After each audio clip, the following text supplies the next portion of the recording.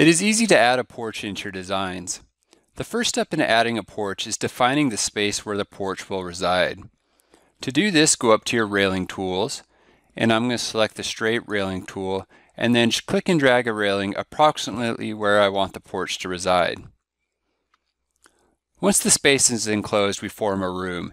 And if you look in the 3D view, you can see that the room has a roof over it, and it has the floor structure already defined. We can modify this room to be more appropriate for a porch by going back to the floor plan view and pressing spacebar to select objects, click in the room, and then in the bottom left hand corner click on open object. This brings up the room specification. And if you look on the right hand side, there's a graphic for the room heights and how this room is being built.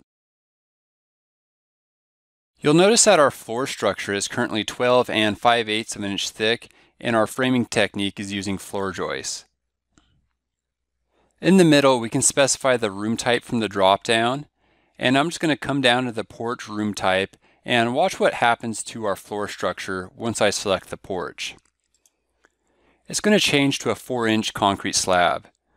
We can further adjust the floor structure by going to the Structure tab on the left-hand side, and down at the bottom here it says Floor Structure. If you click on Edit, this brings up the floor structure definition.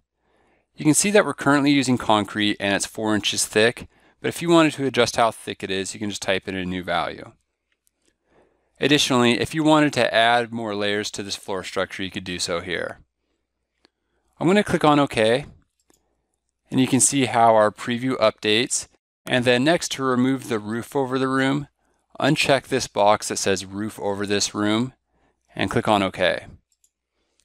And in the 3D view, you can see how this updates. You'll notice that the railings have a different material underneath them following the edge of the porch. We can remove this by adjusting the wall type for these railings. In the floor plan view, I'm going to hold control and select both the railings, and then in the bottom left hand corner, select on Open Object, and then go down to the Wall Types panel, and here you can see our wall type is an interior railing, but I'm going to define this to create a new railing type specifically for this porch. So I'm going to click on define, and then from the wall types definition, I'm going to click on copy, and then I'm just going to give our copy a new name. And then down below you can see that we have two drywall layers, and I'm just going to delete both of these, and click on OK. And you can see in our preview how that looks. And then I'm just going to click OK one more time. And back in the plan, you can see how that drywall is removed.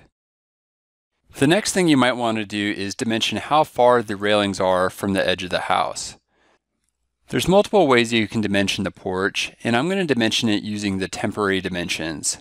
First, I'm going to turn on the temporary dimensions by going to View, and then Temporary Dimensions. And then I'm going to select a railing, and you can see that we get a temporary dimension going from the exterior of the railing to the main layer of the house. And I'm just going to click on the dimension, type in our new desired value, and press enter on the keyboard. And that's going to adjust the rail's position. And then I'm going to do the same thing with the rail on the right hand side. And there we have those rails positioned in the plan. And then I'm just going to turn off those temporary dimensions since we don't need them anymore by going to View, temporary dimensions. The next thing we need to do if we take a look at a photo of the completed porch is add some concrete supports running along the outer edge. To do this, I'm going to go back into the plan and I'm going to go down to our foundation level and draw concrete walls underneath the edge of the porch. To do this in our floor plan view, I'm going to go down to floor zero. Next, I want to be able to see an outline as to where the edge of this porch is. To do this, I can turn on the reference display. This is available by going up to Tools, Floor Reference Display, and selecting Reference Display. This will turn on a red outline as to where those porch rails are on the floor above, and then the next thing I need to do is draw a concrete wall following the edge of the porch. To draw a concrete wall, I'm going to go over to the Wall Tools, and I'm going to select the option for straight foundation wall and then just come over the outline and click and drag to place the first wall and then click and drag to place the second wall. And in the 3D view, you can see how those are starting to come in and we can nudge those into position by selecting the concrete wall and then just using the arrows on the keyboard to move it so that it's under the edge of the porch and that railing. And once I have it just a little bit underneath that railing, an option becomes available in the bottom toolbar that says Align with Wall Above. And when I select it, it's going to place it directly underneath the edge of our porch. I'm going to do the same thing with the concrete wall on the right, just select it, and just use the arrows on my keyboard to nudge it into position until I get the Align with Wall Above option, and then select it, and then I'm just going to adjust it back a little bit. And that's going to complete adding the concrete walls underneath the edge of the porch. And so now that we've got that complete, we can turn off the reference floor display by again going to Tools, Floor Reference, Reference Display. Going back up to our floor one and taking a look at the completed photo of the porch, the next thing we're going to do is add a small stair section into the design.